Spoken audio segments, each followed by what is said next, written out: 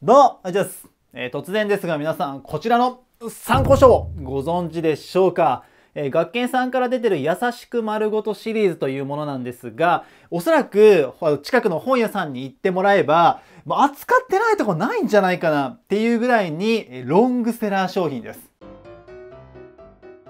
結論から言うと、今回この学研さんの優しく丸ごとシリーズとね、一緒にお仕事させていただくことになったんですが、このね、参考書何がすごいってか、なんで知ってたかっていうと、まあ、この活動俺9年目なんですよ。この授業動画ね。この参考書、授業動画ついてるんですよ。DVD ついてて。で、ある時、もう数年前よ。書店行った時に平積みされてて、なんだろうと思って、まあまあ、これね、表紙今変わっちゃいましたけど、当時の表紙に惹かれてね、見てみたら、だから月の月謝の10分の1でって、え、DVD ついとるやんみたいな。当時の自分はですね、それを自腹で参考書を買いまして、まあ、気になったからね、で、DVD 見たわけですよ。そしたら、まあ普通に分かりやすいんですよね。で、しかも、まあ中をね、パラパラパラって見た時に、参考書自体のね、完成度も高い。特に自分がいいなって思ったのが、まあもちろんね、ポイントがはっきりしてるとか、問題のバランスがいいとかもあるんですけど、この参考書ね、解説がね、私好み。すごい分かりやすいんですよ。で、自分よく解説をね、見てあの参考書選べっていう話もするので、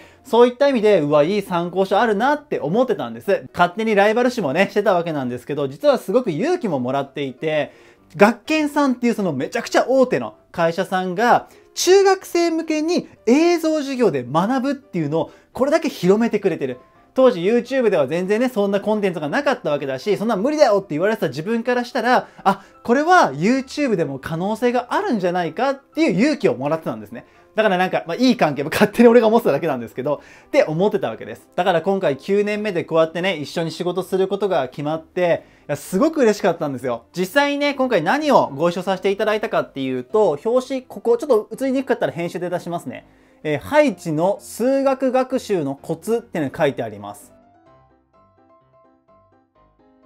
実際にこのミニブックに何が書いてあるかっていうと、これまあ数学の参考書にくっつくやつなので、ハイチ流数学の効果的な学習法っていう、まあ、勉強のね、効果的なやり方っていうのを書き下ろしをさせていただきました。そして、計画を立てる時のコツですね。そして、勉強達成シートっていうこの3点をこのね、ミニブックに詰め込ませていただきました。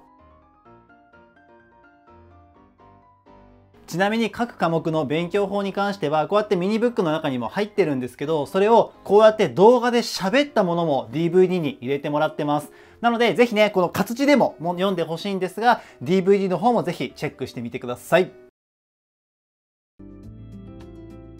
はい、ということで、今回は国語の勉強について話していくわけなんですが、えー定期テスト向けと、えー受験勉強っていうのをちょっと2つ大きく分けて話をしていきます。主にこの5項目です。大きく分けるとですけど、1つが授業で見たことある、つまりまあ教科書とかに載ってる文章。で、この2個目ですね。どっから持ってきたのっていう文章出てくるんですよね。まあ先生にもよるんですけども、えー見たことない文章も出てきます。で、受験勉強であれば、もちろん教科書、1年生の最初から順番に覚えてもそれでも OK です。それか別で英単語帳というか英単語の参考書みたいのを買ってそれを順番に覚えていくっていう風にやっていくといいです。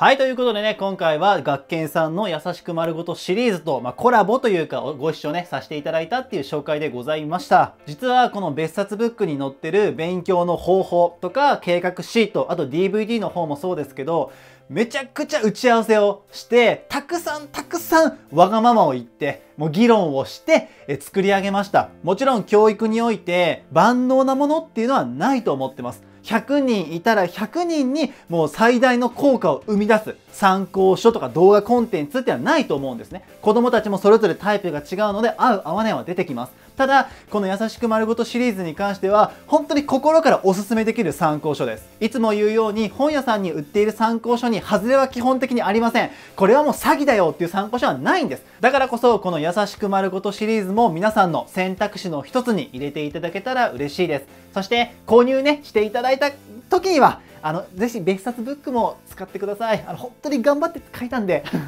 よろしくお願いいたします。ということで、ここまでご視聴いただきありがとうございました。ぜひ、え私自身もそうですが、優しく丸ごとシリーズよろしくお願いいたします。